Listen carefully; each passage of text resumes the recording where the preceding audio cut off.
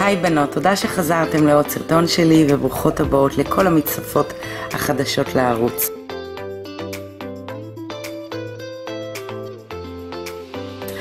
בסרטון הקודם הדגמתי לכן את טכניקת הדיפ ג'ל על הציפורן שלי וכמו שהבטחתי אני מדגימה לכן שוב איך אני עובדת בטכניקה זו על הלקוחה שלי אבל צירפתי לכן כאן בסרטון שתי לקוחות שלי עם כיתוביות הסבר למי שפספסה או לא ראתה את הסרטון. בכל מקרה גם לינק לסרטון הקודם מופיע על המסך שלכם בצד שמאל וגם בסוף הסרטון. מקווה שתהנו ואם אהבתם את הסרטון אשמח אם תפרגנו לו בלייק ותירשמו לערוץ.